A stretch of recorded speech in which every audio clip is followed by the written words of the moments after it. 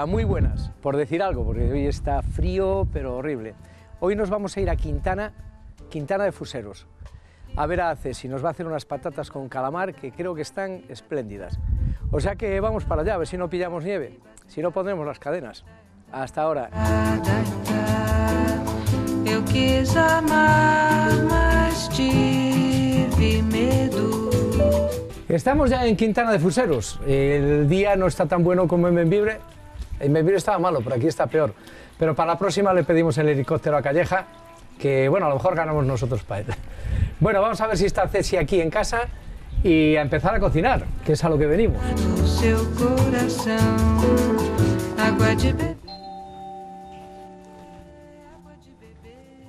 Sí.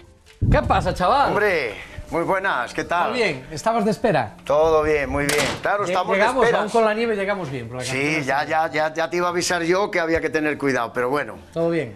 pues, pues todo perfecto. Yo te veo muy bien, acabo de limpiar las gafas. Bueno, eh, os presento a Ceci. Ceci nos va a cocinar hoy unas patatas con calamares que me ha prometido que están riquísimas y yo casi creo en ello. Yo, a ver, no es que cuando diga una cosa que sea cierta, sino es mejor probarlo luego, eh, cuando se hagan, que ya verás cómo te vas a chupar los dedos. Vale, pues vamos al lío. Pues vamos allá. Bueno, pues aquí estamos delante de todos los ingredientes que me has preparado. Eh, explícanos cómo, cómo va el tema. Bueno, pues lo primero que vamos a hacer es picar el ajo, eh, lo añadimos, la cebolla y el pimiento. Esas tres cosas deben de ir juntas para que se rehoguen entre 7, 8, 7, 8 minutos más o menos. ¿eh? Eh, después, eh, mientras, pues también limpiaremos el calamar, que hay que limpiarlo, veremos cómo se limpia y eso. Echamos el calamar, lo dejamos rehogarse con, lo- con la cebolla, con el pimiento y el ajo, que coja el, el sabor ese. Te voy a decir yo, que no sepas tú, claro. No, es tu receta. Bueno, yo vengo eh, de pinche. Es, es mi receta, pero. Y muy contento. Yo quiero que eso. Y después, pues bueno, después del calamar, 3-4 minutos, echamos la, la patata que la vamos a echar escachada, no cortada, mejor eso es más- mejor y, y se hace mucho mejor. Eh, después de que la patata esté otros dos o tres minutos cogiendo sabor, con el calamar, con, con todo, pues echamos eh, el perejil, que aquí lo tenemos, de, de la huerta, De la huerta de Quintana. de la huerta de, de Quintana.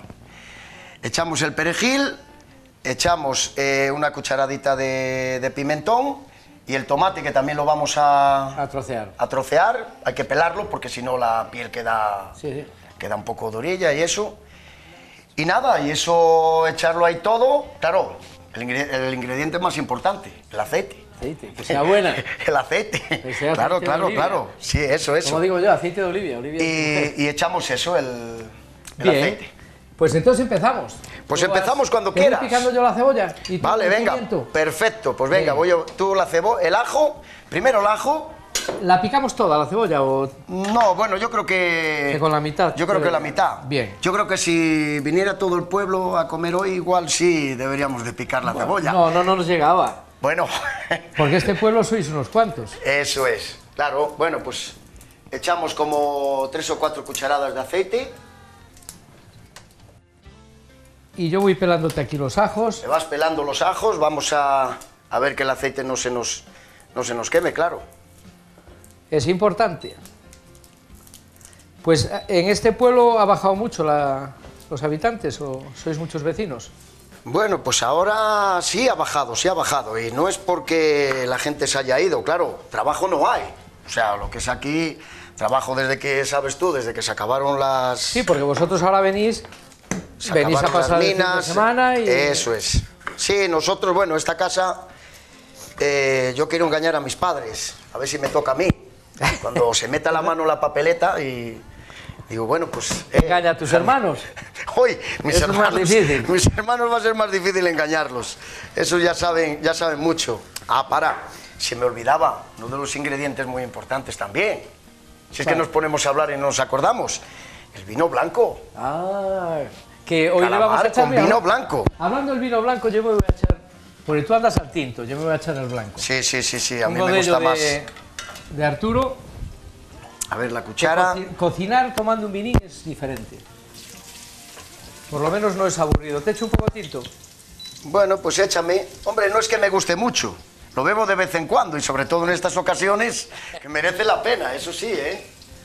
Oye, lo que no me has hablado de... Lo que sí vamos a echar es Ah, la no, la cebolla, sí, la porque si no el ajo se va... En un momento está. Se Lo que no, no me has hablado de la caravana aquella de, mujeres. La caravana Te de tenías que haber mujeres. casado aquella. Tremenda. No, sí, por casarme me puedo casar en cualquier momento, pero bueno, de aquella es verdad que, que se hizo, a ver, no se hizo con el plan, o sea, porque mucha gente, seguramente que, que nos estarán viendo, pues dirán, bueno, aquella caravana de mujeres, aquella caravana de mujeres, que vinieron chicas de no sé dónde, que vinieron, pero eran unas chicas, eh, unas chicas tremendas, majas, ¿eh? Se hizo el, el primer año que se hizo en el año... Ya puedes ir echando si quieres. El primer año que se hizo, se hizo en el año 89. Joder, ya hace... Primer año. ¿Tú qué años tenías de Yo era... Nada, era muy joven, tenía 20, 21 Ah, bueno, años. es apto para mojar. 21 años, hombre, claro. Claro, claro, había que aprovechar. Y, y se hizo ahí, pero lo que pasa que no vinieron. No vinieron ese año. Yo me acuerdo ahí, la entrada por donde entrasteis ahora por el pueblo, por la parte esta de Noceda, que la hicimos ahí, la caravana. Estaba la- eso todo, pues, eh, con muchísima gente. Había, no sé, gente, total, era la primera eh, que gente que esté viendo el programa seguramente que se acordará, pero no solo de aquí, sino de la zona de, de Galicia también, de, bueno. Asturias, vinieron de todos los sitios. La idea aquí, ¿qué vino? De la película aquella que había del oeste. ¿no? Eso es, pero bueno, esa, esa idea, o eso casi mejor que te lo explique, que te lo, que te lo explique luego Isidro, Sí, sí. Ardiles, que si lo vas a ver luego. Sí, ¿eh? nos- nos va a enseñar alguna cosa por el pueblo. Eso es, y te lo va a explicar mejor, pero gracias a él, y bueno, los chicos del pueblo se lo agradecemos. ¿Eh? Madre mía, que nos trajese ¿y de por, qué, aquella. por qué nos pero, planteáis ahora una caravana de hombres? pero había mujer. ¿O no hay mujeres solteras como para ello? hay, hay mujeres, no, ahora, ahora ya quedan poquitas aquí. A ver, en verano, en verano esto aquí, eh, en verano esto aquí se pone, vamos, o sea, si ahora mismo debe haber en el pueblo unos 200 habitantes, más o menos, en verano puede llegar en las fiestas que aquí coinciden el 15 de agosto, hago un poco de propaganda para que la gente venga. Claro, por Son- supuesto. Son, el 15 de agosto, pues, pues aquí puede haber tranquilamente 500 personas, eh, Sí. muchas familias que vienen, que están viviendo por ahí fuera, y eso, y Pero hay más número de solteros que de solteras.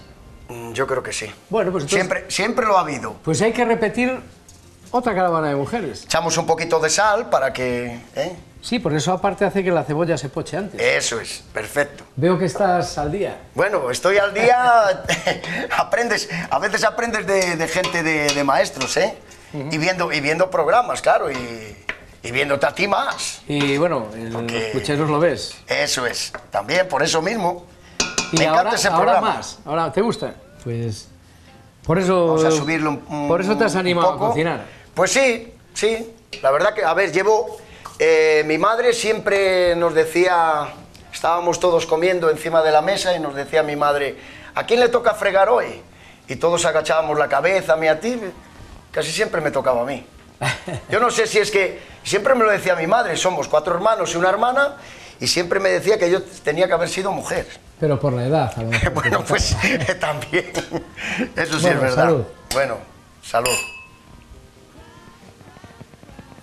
Bueno, pues limpiaremos el calamar. Sí, ahora vamos a limpiar el calamar. Aquí lo tenemos. Veo que es buen calamar. Sí, mira. Vaya. Calamar de... Vaya ejemplar, calamar madre fresco, mía. Sí, sí. Esto, esto da para comer para 20, ¿eh? Yo Porque sí... Tú sabes que las patatas con calamar lo que más lleva son patatas. Sí, sí. No, el calamar. Si pesco yo algún día uno así tan grande, flipo. Yo todos los Madre que cojo son mía. pequeñines. Bueno, pues le quitamos esto de aquí, de la parte de adelante, ¿eh? que se aprovecha todo. ¿eh? Esto se aprovecha todo, cortamos así en trocitos, porque después va a ir cortado. Ah, Trae la cabeza. Ya le he dicho a mi madre, mamá, ¿cuándo me compres otras tijeras? Que estas. Es que. Pues claro, vete, vete limpiándolo y lo pico en la tabla.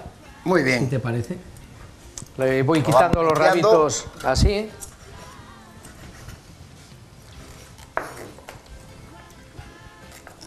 Y tienen que estar buenas. Hicimos un programa en Molina que fueron lentejas con chipirones. Y estaban riquísimas. Mira que me sonó raro al principio. Pásame el plato aquí, por favor. Me sonó raro al principio y, y estaban buenísimas. Limpiamos, lo dejamos. A ver, que vamos a aprovechar esta otra parte del calamar. A ver, yo eso no lo sabía, ¿ves? Esto, bueno, esto es ¿Ves la, esto es tinta que como no es en su tinta, antes. Pero esta, esta pieza, esta es importante, porque esta es riquísima, mira. Esta pieza es muy buena. Sí, sí, sí. Yo como lo Pues veía esto, así esto tan- es como el calamar, la misma textura, es igual. Sí, sí, sí. Ahora lo vamos a lavar un poquito. Dice, nunca te acostarás sin saber una cosa más. Por eso, por eso, claro. De los maestros hay que aprender. Bueno, maestros. Hombre, tú eres un maestro, Rafa. Go? Have you ever had a broken heart? Have you ever lost your mind? Have you ever woke up screaming? Cause you're so lonely Bueno, pues aquí estamos ahora. Escachando la patata porque dicen que queda más rica así. Escachada.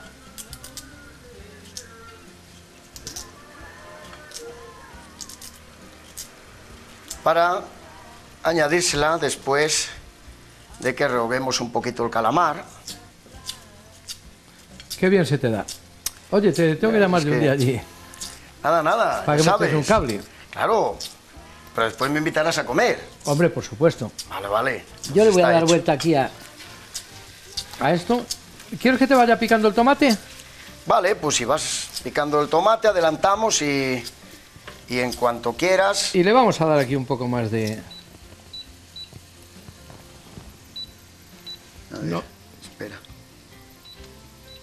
estas tecnologías. Sí, así. ahora. Yo creo que un minuto dos, o si quieres echárselo ya el Sí, calamar, echamos. Sí, echamos el calamar ahora. Bien, aquí lo tienes. Lo vamos dejando que se rehogue otros 3, 4, 2, 3 minutines, 4. El tiempo es lo de menos. Lo importante es que después estén ricas. Entonces te paso el calamarcito este.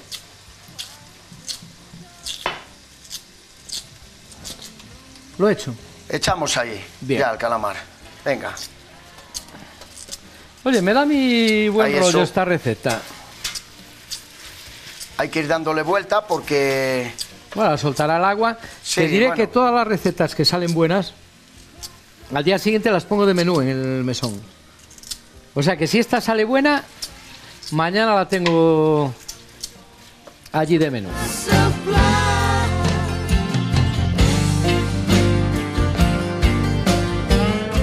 Bueno, pues yo creo que le podemos añadir, le añadimos las patatas, ¿eh?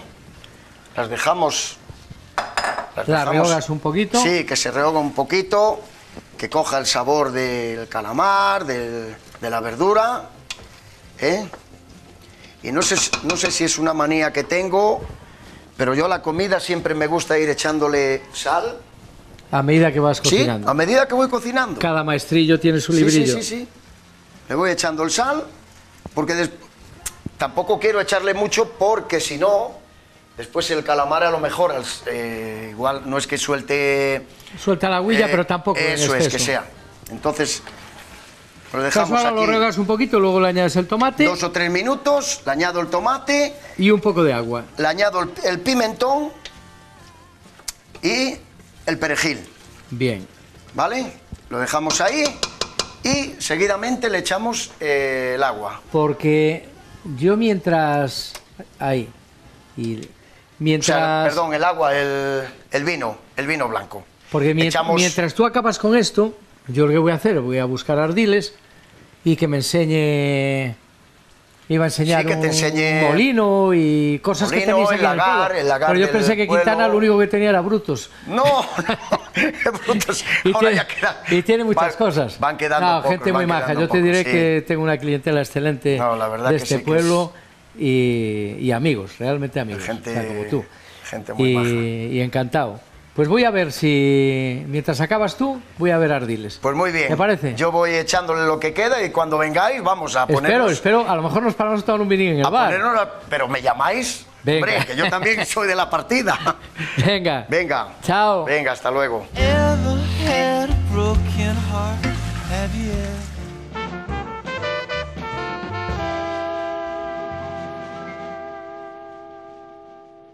Bueno, estamos aquí con Isidro, Isidro aquí en Quintana de Fuseros, alias Ardiles. Ardiles es el responsable pues, de que se haya restaurado este molino y otras cuantas cosas.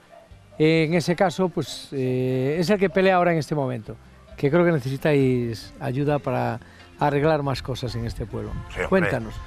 tenemos previsión de hacer varias cosas y una de estas, esto, los molinos son igual que el lagar, son, eran de sociedades. Lagar en este caso, eh, a ver si el ayuntamiento por una persona se encargó de prepararlo, podemos eh, cogerlo para nivel municipal o local, o de la junta vecinal, para optar a subvenciones y Claro, es que si es todos. particular no hay opción a subvenciones ni nada, tiene que ser, tiene que ser municipal. los organismos oficiales dan para dan subvenciones, el Instituto de Cultura sobre todo, cuando son eh, de la sociedad, o sea, de la sociedad me refiero De la del Junta ayuntamiento, Vecinal. de la junta vecinal Sí, y por ahí. Entonces intentamos, esto lo han hecho, por ejemplo, los vecinos, los, los, los dueños. que lo han hecho decirlo. con sus manitas, Exacto. sin cobrar un duro, aportando los materiales ellos. Exacto. Incluso, o sea, que eso es de agradecer también. Hombre, es que me favor. explicaba a mí el hombre que había hecho lo que es lo de sacar la piedra, o sea, que él la había puesto en la madera, no había recibido un duro, o sea, pero eso, es- eso es porque se le tiene cariño al pueblo, Claro. que es de la manera también de sacar Sí, adelante. La verdad. Vamos a ver el- la, la obra. Del Yo paso Tomás. primero del señor Tomás. Que tú mira que Mira, pues Qué este- bien, es la manera de recuperar algo que, que si no estaría sin No, tejado, se estaría caen, sin- sí, se sí. caen, se caen. Se cae. Y este hombre, ya con sus 86 años, si lo ves, lo ha preparado. Bueno, los demás vecinos, los demás le han ayudado y tal, pero esto lo ha hecho él, ¿eh? Te hablo de una persona con 86 años. Joder, yo firmaba por Joder. estar como él. La verdad es que Además que se le ve bien de salud, que... Pero mira, es digno de admirar. ahí con unas tablas de chopo que además se ha hecho eh, para que vibre y suelte el grano, lo ha hecho para funcionar. No, si Sí, no, sí. Esto, esto estaría caído. Sí, te hablo de este, de lagar, porque estos prepararon el tejado, ¿entiendes? Y está un poco conservado, pero si no, si no hacemos un poquitín que nos lo cedan a... Un poquitín de fuerza, sí, Exacto. para... Se nos caen todos. Pues nos vamos a ver el lagar. Sí, vamos Que a... tengo ganas de ver ese lagar. No es por la afinidad cetílica mía, pero Por la, por la de los dos. por la de los dos. Venga, vamos hasta allá. Vamos para allá. Vamos, compañero.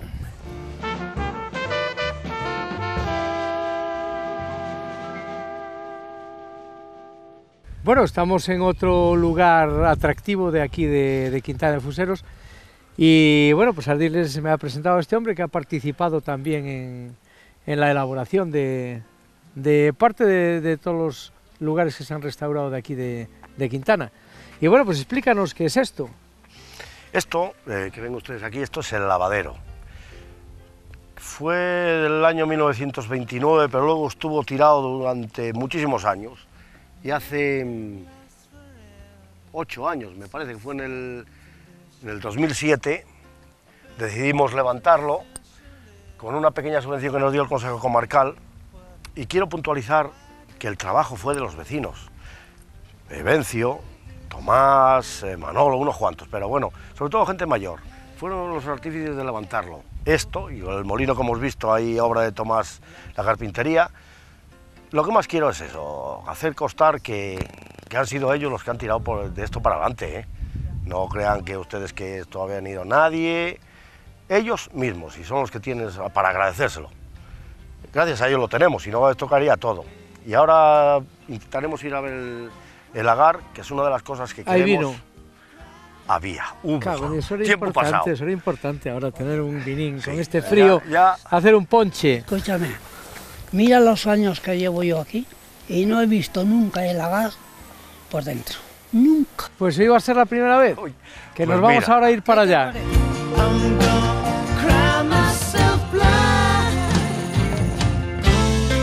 Bueno, pues es una, una pasada. El... ¿Cuánto calculas que tiene de largo esto? Yo creo, que- Está bien. creo que tendrá unos 12 metros, calculo, ¿eh? Sí, sí, es impresionante. No, no, yo de las más O sea, aquí grandes que he visto. de lo que se trata es, elevas la piedra, Exacto, entonces al subir la piedra esto baja y se levanta de allí. exacto. Y entonces allí es donde metían. Ahí se hace el pie, allí se hace el pie y al Sí. bajar la piedra va presionando el, Sí, sí, sí, sí, sí. El bujo, sale por ahí para ese canal. Claro, era lo que hacía, lo que hacía de prensa, en- que aquí metíais todo, la- el racimo con, con, Claro, o sea, la uva claro. con racimo y todo, Entero. claro. Se estripaba, claro, el peso Ahora hace... se despalilla, ya no es como antes. No, no, uh, esto no tiene nada que ver. Allí aquí pensabais con pali, o sea, con palo y con todo. Sí, todo, todo, todo.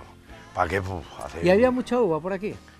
Sí, lo que pasa es que el vino... tener un lagar de este, el vino el- había muchas viñas, pero el vino, la calidad del vino... era el, el que decía que había que beberlo entre tres. Ah. Dos te sujetaban y uno te lo daba. y agujeros en el estómago. Sí, sí. Lo que pasa es que, bueno, era lo que había, es la- pero eran los únicos que tenían vino de por aquí, ¿entiendes? Es- Sí, sí, sí. Pues que conste que de ahora en adelante, o de hace poco más de dos o tres años en adelante, va a ser buen vino. El calentamiento terrestre va a hacer que estas viñas de altitud den un vino con un equilibrio de acidez y alcohol de lo mejor. De hecho, yo espero, bueno, esto va a quedar para restaurar y tal, y para ver, pero eso sí que es cierto, porque ya hay gente interesada en, en comprar en estas altitudes. Claro, claro. a- Es de- a- la tendencia que hay ahora es eso, para que no se sobremadure y por el- porque el calentamiento terrestre ha llevado unas sobremaduraciones de la uva que están creando problemas. Están tratando, o sea, Pues a lo mejor es una- un punto de futuro. Pues sí. A lo mejor es un punto de futuro. Pues vamos, estará este con las patatas ya que se nos van a pasar. Vamos para allá. Venga. Venga.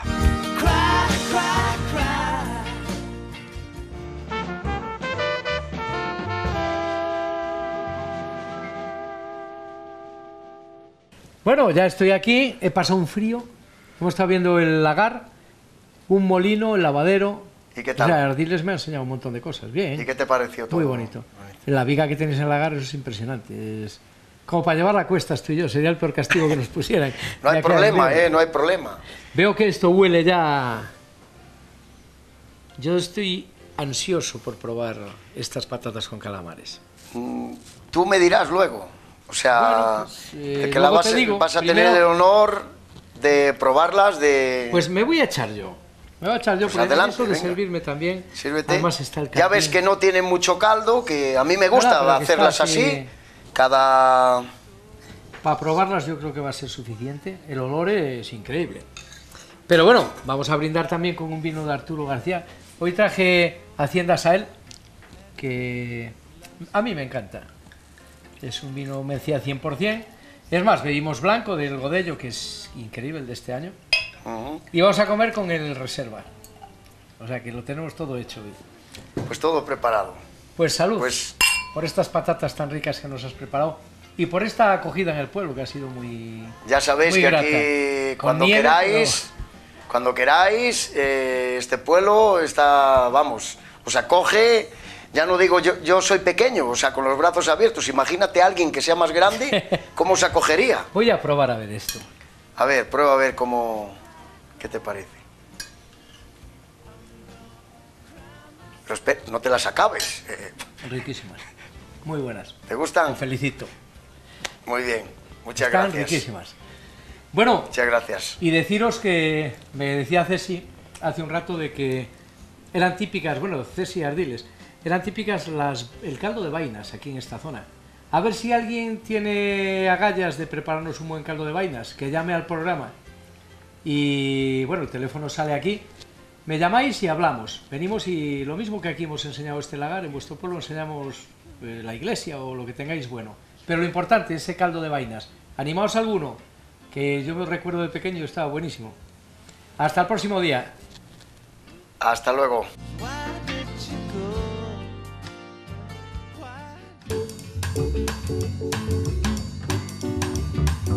Si estáis buscando un buen dentista en la comarca, os recomiendo mi clínica de confianza, Dentomedic. Dentomedic lleva nueve años solucionando el problema de los bercianos y está preparado con las tecnologías más avanzadas para ello. Yo me toca una revisión y vengo a ello, a ver lo que me hacen. No lo paséis por alto, Dentomedic, en Ponferrada.